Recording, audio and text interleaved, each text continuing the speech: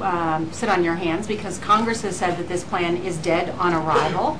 Um, You couldn't get a bank levy passed, as Jake pointed out, two years ago when Democrats controlled the House and the Senate. Why shouldn't this proposal today, in an election year, not look like just an effort, a politically motivated effort to reach out to um, homeowners in key battleground states that just also happen to have big mortgage foreclosure issues, like Nevada, Arizona, um, Florida, et Yeah. cetera?